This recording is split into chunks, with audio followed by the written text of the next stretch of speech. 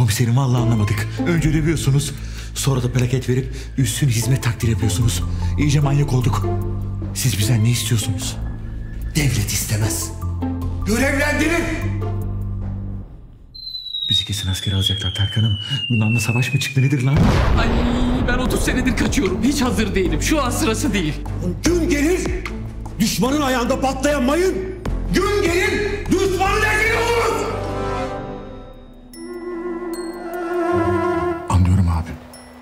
Babanızın düşmanlarını sikeyim abi.